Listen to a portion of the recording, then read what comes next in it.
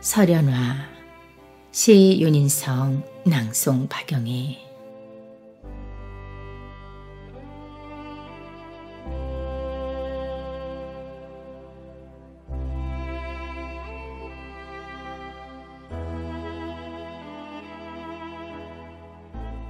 양지바른 팔분능선 아래 참새 소리가 메아리 되어 귀 속에 고스란히 담아진 그리운 엄마 품 같은 그곳.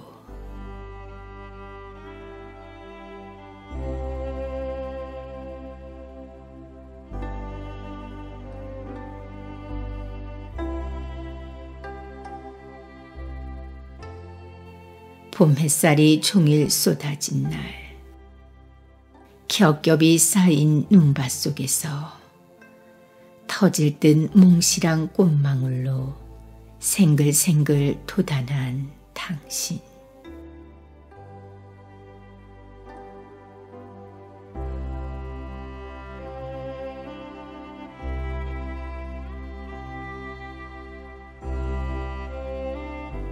따스운 날만 늘 손에 이며 2월과 3월을 복맞이한 채 금빛 화려한 설연화로 샛노랗게 피어난 당신.